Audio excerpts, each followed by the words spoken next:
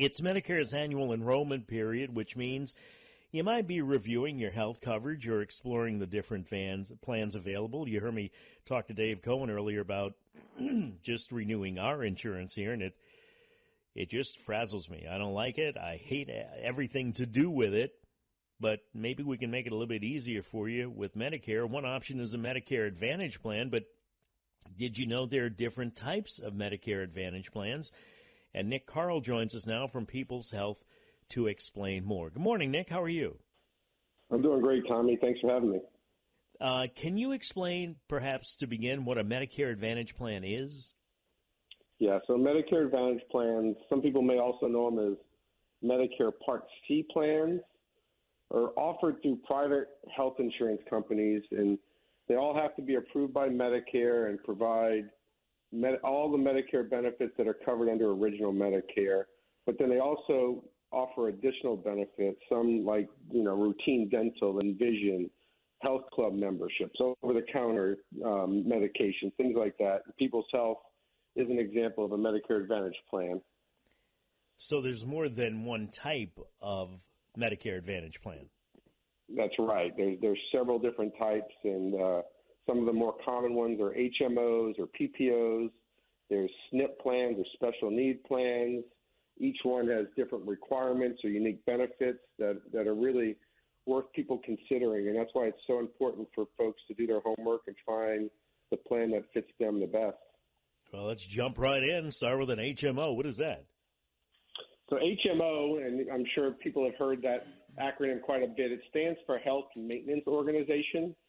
And HMOs offer a wide range of healthcare services through a, through a network of providers you know, such as doctors and hospitals. And members of an HMO plan have to use the specified healthcare providers.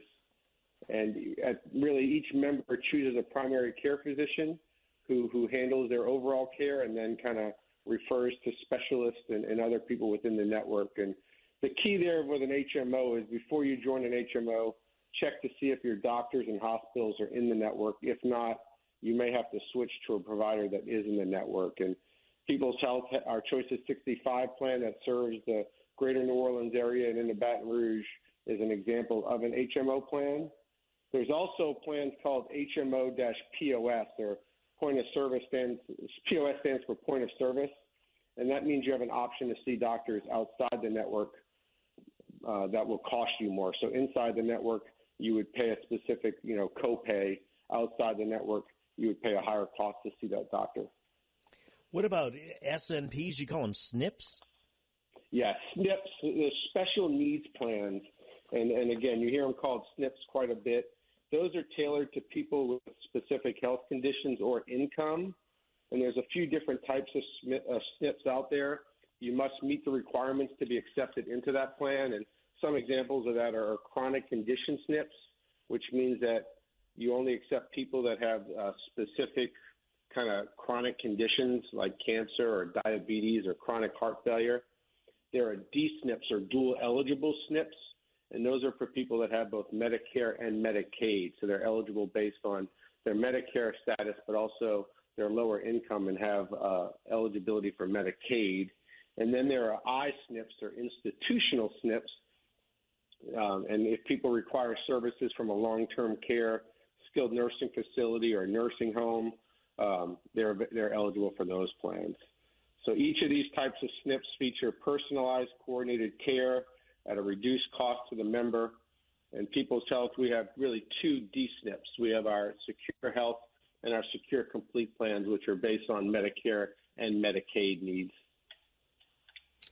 All right, let's let's digest what we have so far and let it sink in. And when we come back, we can talk about PPOs and group plans and more. We're talking with Nick Karl with People's Health. It's Medicare's annual enrollment period, and we're help you we're trying to help you navigate those Medicaid waters, uh, Medicare waters rather, or maybe Medicaid too could be a part of it. 820 more when we come back. Right now, time for traffic on WWL.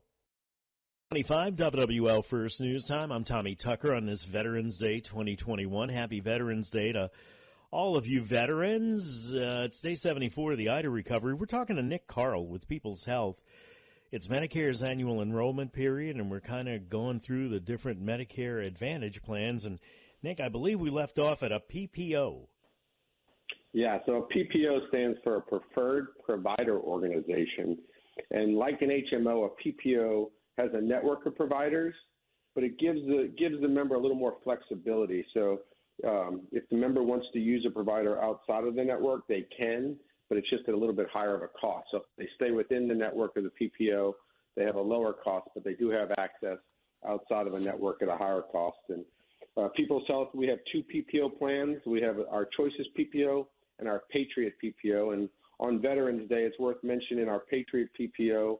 Uh, it's a plan that's designed for veterans, really, for somebody that has access to VA benefits, but still wants the extra benefits of an Advantage plan. So it's it doesn't include prescription drug coverage like most of our plans do, but it gives them access to use the VA while also getting the advantages of some of the uh, Medicare Advantage benefits.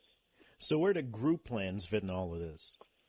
Yeah, so group plans that's that's that's kind of the last probably group we'll talk about today, and it's an employer. It's for employers to offer to their retirees. It's called an employer group waiver plan or an EGWP, uh, as we call it, kind of in the industry. And uh, it's it's again, it's for it's a retiree benefit plan established or maintained by an employer, like a union or a church group or a municipality that provides medical care to employees and their dependents directly. So teachers or Louisiana state employees may have this option. If if you're retired and you think you know maybe this is offered to you, you should definitely uh, contact your employer to look into that. So we got HMOs, PPOs, SNPs, and EGWPs. How, how can people find out more about what's available in their area? So the best place to start is probably on Medicare's website, www.medicare.gov. And here you can find general information about Medicare and all the all the services that are covered. You can also compare Medicare Advantage plans in your area, so you can compare up to three plans side by side. And you want to look at the benefits, you want to look at the cost, you want to look at the provider network, the star ratings. There's a lot of things to consider. So doing a side by side comparison is probably the best place to start. And then from there, you can go and, and, and research each individual plan. You know, I was mentioning earlier, Nick, that I get nauseous, just nauseated, just getting the the company's benefit thing done year to year, because um, I don't understand half of it. If people want to learn more specifically about people's health plans, I guess it would be great to sit down with somebody and kind of have them walk you through it.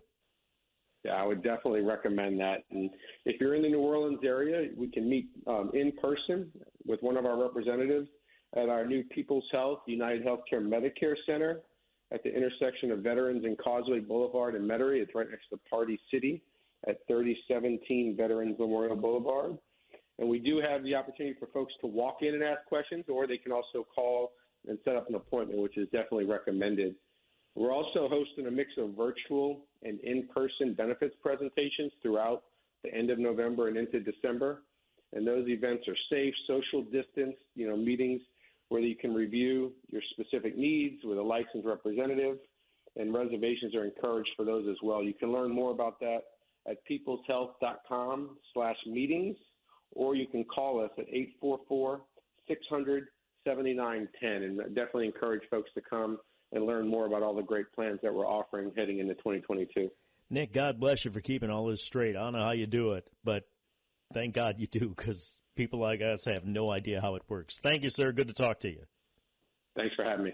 You bet. You can always learn more, go, learn more rather by going to peopleshealth.com. You can call 1-800-978-9765 and you can follow People's Health on Facebook, Twitter, or Instagram. Time now, WWL First News. For that, we go to Dave Cohen.